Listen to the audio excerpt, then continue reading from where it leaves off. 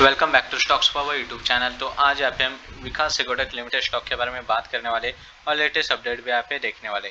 तो विकास सिकोटेक limited stock की बात की जाए तो आज यहाँ पे हल्की सी वॉलेटिलिटी देखने को मिले विकास सिकोटेक स्टॉक में, क्योंकि लास्ट वन वीक में यहाँ पे गिरावट देखने को मिली है विकास सिकोटेक स्टॉक में।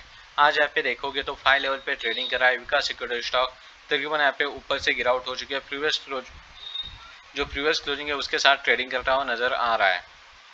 यानी कि आज देख सकते हो कि विकास सिक्योरिटी गैप अप से ऊपर ओपन हुआ था। ओपन होने के बाद गिरावट तो हो चुकी थी, पर देख सकते हो कि फिर से बाउंस बैक किया प्रीवियस क्लोजिंग का सपोर्ट लिया, फिर एक अच्छी रैली की थी बाइंग साइड में। फिर ऊपर से फिर से गिरावट देखने को मिली। रिसेंटली यहाँ पे जो प्रीवियस क्लोजिंग है फाइव लेवल उसका सपोर्ट लेके यहाँ पे ट्रेडिंग करा है यानी कि आज ओपन हुआ था फाइव पॉइंट ज़ीरो फाइव पे हाई बनाया था फाइव पॉइंट ट्वेंटी का और लो है फोर पॉइंट नाइन्टी का। मार्केट कैप देख सकते हो फाइव सेवेंटी फाइव करोड़ का है।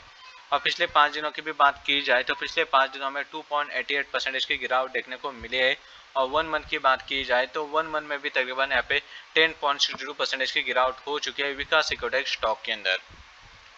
तो विकास सिक्योटेक स्टॉक की बात की जाए तो यहाँ पे आप देख सकते चार्ट एनालिसिस पे भी नज़र डाल सकते हो। जैसे कि आज यहाँ पे आप देख सकते तकरीबन ऊपर चला गया था, फिर से गिरावट देखने को मिले।